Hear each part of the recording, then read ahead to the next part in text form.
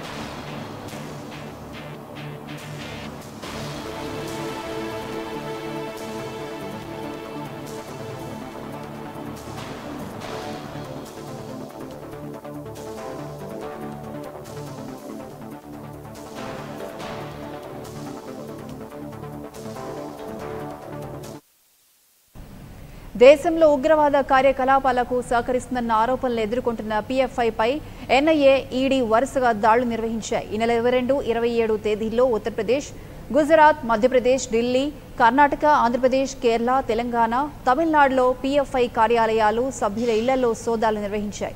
ఈ సందర్భంగా మూడు వందల మందికి పైగా పీఎఫ్ఐ సభ్యులను అదుపులోకి తీసుకున్నాయి. అదేవిధంగా పీఎఫ్ఐకి వ్యతిరేకంగా లభించిన కీలక పత్రాలను ఎన్ఐఏ స్వాధీనం చేసుకుంది. ఓ వర్గానికి చెందిన ప్రముఖ నాయకులను హత్య చేసేందుకు రాష్ట్రాల్లో అలజడులు సృష్టించేందుకు కుట్ర పన్నుతున్నారని అధికారులు తెలిపారు.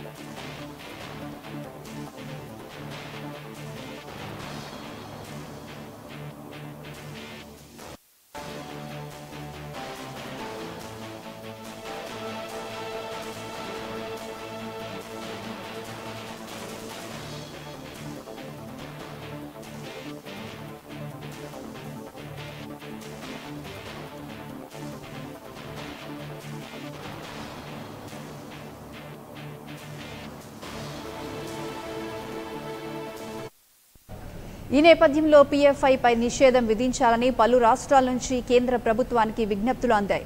దీంతో పీఎఫ్ఐతో పాటు దాని అనుబంధ సంస్థలైన rehab India foundation campus front of India all India imams council national confederation of human rights organisation national women's front junior front empower India foundation rehab foundation కేరళపై ఐదేళ్ళ పాటు నిషేధం విధించింది.